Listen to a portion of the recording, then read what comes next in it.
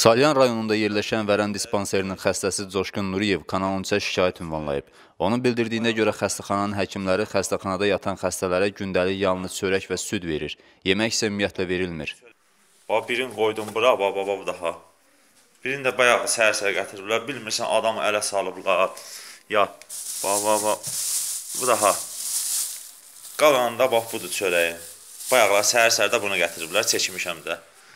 Bir bunu verirlər, bir onu çox da ardı getdi. Bu daha verdikləri yemək bax budur, bu daha. Bu da baş həkimi sənlərlə 7 də rayına baxan daha baş həkimi xanış bu çörəyi verir. Deyir ki, hər bir şeylərini verirəm. Bax. Bu daha. Bunu verir. Bu da mənim tumuçkam bax daha. Bu öz tumuçkamdı da verdiyi çörəkdir. Bax bax daha. Bu istəkanımız da indi palat. Verdiyi süd də bax bax daha. Bir süd verir, bir çörək. Deyir, bununla sənin vərəmi uşağı aldıram. Mənə dövlət bunu verir. İndi bu indi çörək bıraq gəlir, səhər çörəyidir. Gətirəcəklər səhər çörəyin.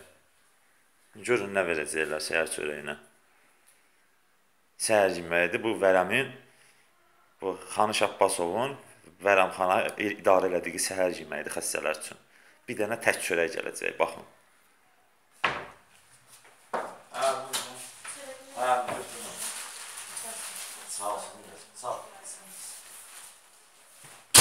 Valla verdiləri budur.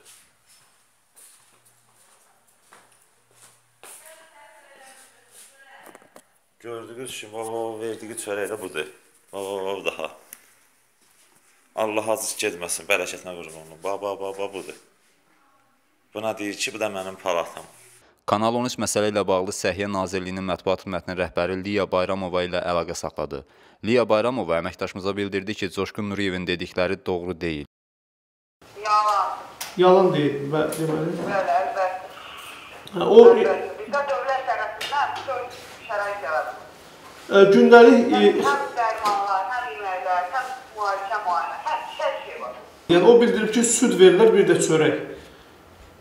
Süt və çörək nə deməkdir? O həmin vaxtda həmin hansı ki, onlara süt və çörək lazımdır. Və obyektdə onlara ət bildirirlər. Onlar bunu çəkmək istəmirlər.